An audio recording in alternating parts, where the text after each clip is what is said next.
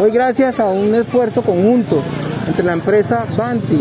y la Secretaría de Planeación y Administración Distrital del doctor Alfonso Eljas, hoy podemos traer buenas noticias también a este sector y decirles que gracias a un análisis técnico, jurídico y en un trabajo, como lo digo, conjunto, podemos decir que hoy la gran mayoría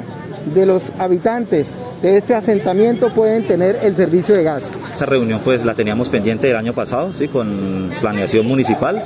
y con la empresa Avanti, pues el, problema del, detallado de nosotros es pues el gas natural, ¿sí? estamos detrás de eso y pues años atrás ha venido negándose en el servicio porque pues aparecemos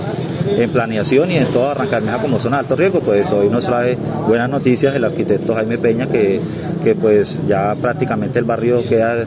son solo como 10 casas que quedan ahí en, en esa zona de alto riesgo.